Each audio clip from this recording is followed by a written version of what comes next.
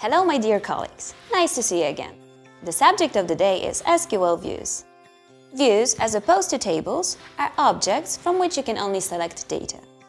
Tables store data, while views just provide access to data. Views are dynamically generated when referenced. By using views, you can limit access to data. Here at Cuties, we don't spend our time theorizing, but instead, we give the solutions. So, Let's look at the following example. We have a table containing pets.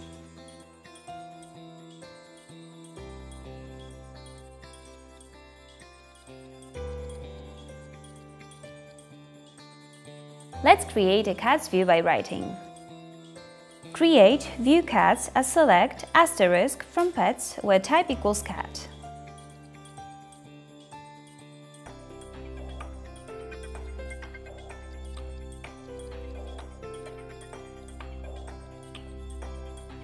And now simply select data from our cats view. Select asterisk from cats.